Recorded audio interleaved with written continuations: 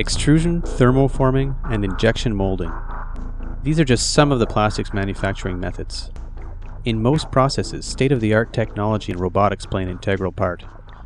Computers allow for a higher degree of accuracy, efficiency, and productivity. Following the video, read the descriptions. See if you can identify how some products are made.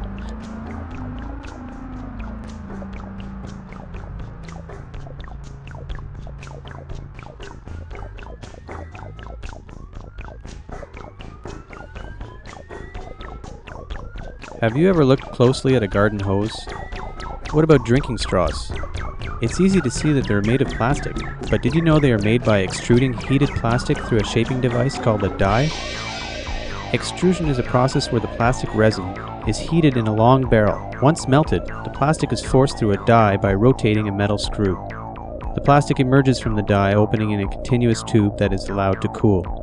Once the plastic tube is solid, it is then cut to the desired length, and a hose is created to water your garden.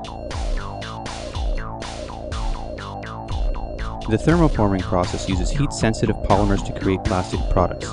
The polymer is melted and then heated further, starting polymer strand reactions. The polymer strand reactions form crosslinks. These crosslinks make the cool plastic object heat resistant.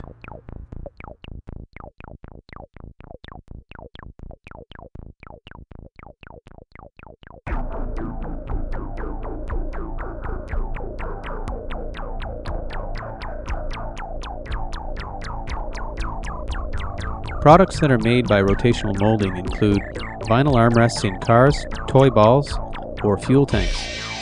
Polymer resins can be finely ground into a powder. This powder is used in the rotational molding process. The powder is placed in the mold and slowly heated while the mold is being rotated in all directions. This rotation causes the powder to cover all surfaces of the mold and it also melts and takes its shape. Once cooled, the mold is opened and the part is removed. Blow molding? Think of blowing a bubble out of your gum. This process is used to produce most hollow plastic objects, like soft drink bottles, detergent bottles, and storage drums. How does it work?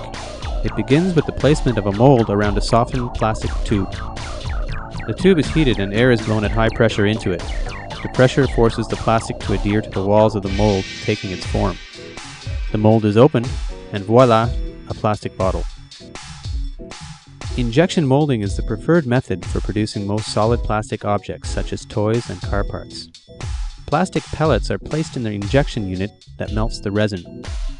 The melted resin is then forced into a mold that shapes the object by a heated metal screw.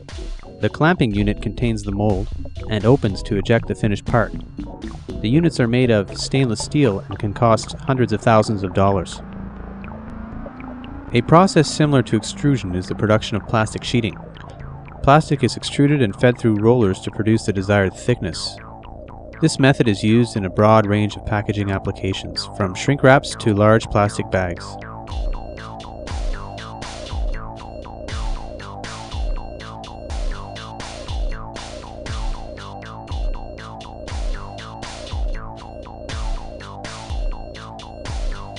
Cars, infrared scopes, golf equipment, bridges, boats, you name it.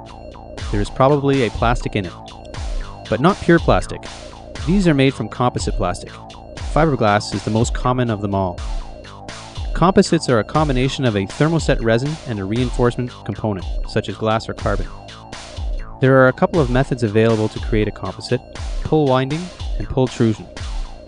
Pull winding involves winding the plastic and glass fibers together producing composite tubes. The pultrusion process incorporates the reinforcement fiber with a high-performance plastic resin.